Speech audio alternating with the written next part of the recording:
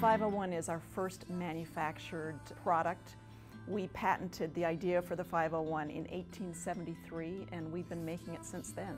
The patent that was issued on May 20th, 1873, we consider the birth of the blue jean and of course the birth of the 501.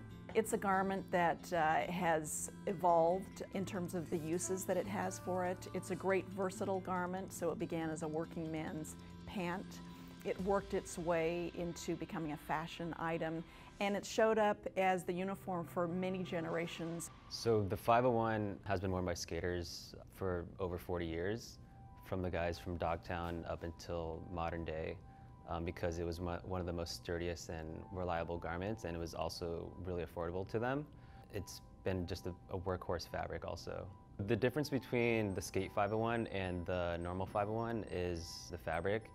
Um, we've woven T400 and Cordura into the fibers. So T400 is for superior stretch and Cordura is for strength and abrasion resistance. So when you're constantly falling and doing tricks, you're gonna have that support with, from the fabric. Also, we have some features that we carried over from our existing denim, which is the double line back pockets, bar tacks at the crotch, and also the belt loop sewn into the waistband and we also feature um, a stash pocket. We've never tried to take from skateboarding, we've always tried to give and you know not only with the product but everything else that we're doing with the builds and, and how we're approaching um, skateboarding in general is just, it, it, it makes everything you know worth it because again of how the company feels about giving back to skateboarding. And not only just skateboarding but everything else that the company does from um,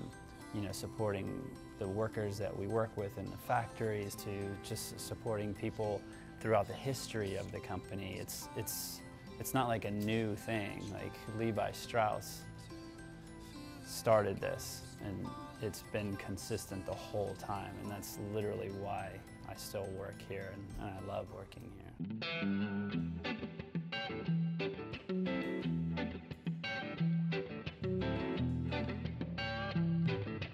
And I have one word for the 501 is durability. That's when we're skating, we're always like, are they durable, dude? Are they durable? So durability is the main thing, I would say. Just wanted them to flex more, like more stretch in the denim. That's really all we wanted.